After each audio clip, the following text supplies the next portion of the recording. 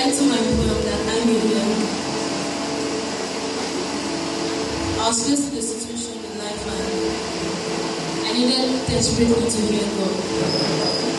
I ran to friends, I ran to family, around to father, around to mother. But none seemed to provide the answer I needed. And I ran back to God.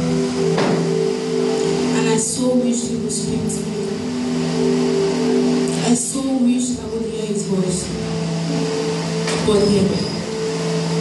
How would I hear Him? Amidst the clouds and darkness of my heart.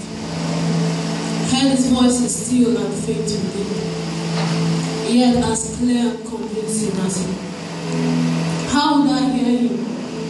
When the shadows of fear beset my heart. Fear of the unknown and uncertainty of the future. How would I hear Him? When trusting Him is as though an issue of great difficulty amidst all He had done before now. How would I hear Him? When I'd rather measure my pathway by the wings of others than flow in my own uniqueness. For I live in a world where individual uniqueness is not esteemed. Sometimes I wonder, does Father know that? Because I wouldn't hear him when in me he plays so loudly a song to make him proud that the shadows call silent whispers within. How would I hear him when in high esteem do I hold the thoughts of the creature than the creator?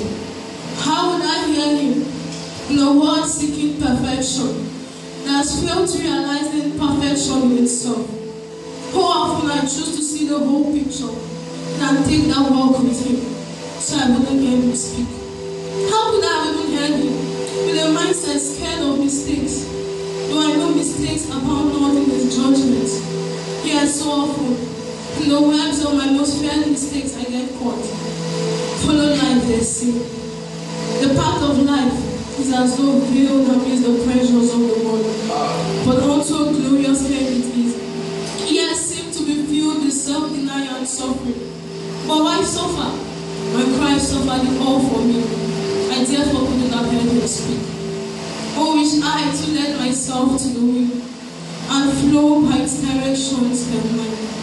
To let go of my needless worries and trust he that called me. For my thousand worries, faith that his voice became me. Teach I careful to trust and I to follow. Teach I the language of the heart and the voice of him that resides therein. To nurture to treasure it, that I may journey through the path of life I arrive at that place of that special sign of you to show.